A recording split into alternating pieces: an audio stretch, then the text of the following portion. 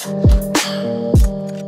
Hey everybody, welcome back to Jimmy's promo and today is October 14th and Samsung just pushed off two software updates for the Galaxy Z Fold 4 in just the last couple days. So let's take a look at this one. So this one is getting ready to download and then install. This one's giving you that October 1st patch. It's a pretty small update, but if I was to go on back one page, you can see my last update was earlier today. Again, October 14th at 1.32 p.m. This update was pushed out the day prior. I didn't do it until today at 1.30 and this was the larger update. This is the one that gave you September 1st, uh, and then also a large size of 1,399 megabytes. So if you haven't looked at your Galaxy Z Fold 4 in a few days, you might notice you'll have two updates. First, you'll have this one that will give you September 1st with a large update, and we'll take a look at a bunch of different applications that had an update that came along with this.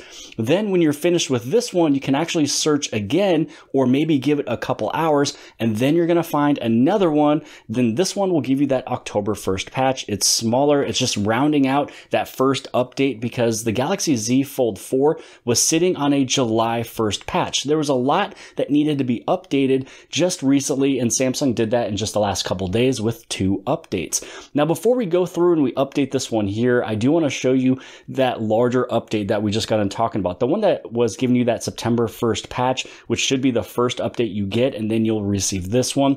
Now, I took a look at a bunch of different Samsung applications and services, and I wanted to see if there's newer versions. So when it comes down over into the camera, so I'm to press and hold, take a look. I wrote down all of the versions before the update. The camera version used to be 12.10169. This is now 12.10190. So there is a newer version of the camera. Same thing with the home. So if we go inside of the home, hit on settings, scroll down, let's take a look at the about home. This one used to be 135031. This one's 135053. So there's a newer version of Samsung Home. Then let's take a look at the fingerprint and face recognition because a lot of times when you see that the security of your device has been updated, you don't really only hope for that security patch. Hopefully you're going to get some newer updates for biometrics. So now let's take a look at the security patches of biometrics. So when it comes down to the fingerprint, it used to be 6006, uh, same version here. And then for the face, it was 2118, 2118 here. So it looks like the biometrics metrics is the exact same. So the security patch is really what kind of, you know, got pushed out for that newer update. You can also take a look at your Google Play system update. So you can take a look at this one to see if you have the latest version. This one's right now sitting on September 1st. So it looks like we, uh, again, have the latest version of the Google Play uh, security update. So you always want to take a look at that one when you're inside of the screen. Now let's take a look over at Samsung Messages. So I don't really use Samsung Messages. I'm more of a Google Messages user myself. So on the very bottom here, before before this update, it was 13 to 10 21.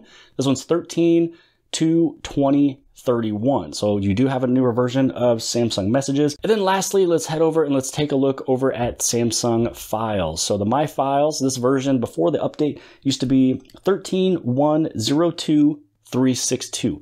So it looks like the exact same 13.102.362. So the My Files did not need an update. Look like everything else did. So if you are looking for these updates, what you want to do is head inside of your settings. You're going to scroll all the way down. You'll take a look at software update. Then you go to download and install. Now, if you ever are curious on when the last update you did, how big it was, what all was new with it, all you have to do is go to that last update. When you tap on last update, it's going to show you everything that showed um, on this screen here which is pretty nice. So all I'm going to do now is just download this. I'm going to get it installed. I'm not going to take a look at everything after this update. There's really no big deal to do that. We already saw a bunch of things was new and updated. This one's a smaller update, so I really wanted to take a look at what was new with the larger one, which is about a thousand megabytes bigger than this one.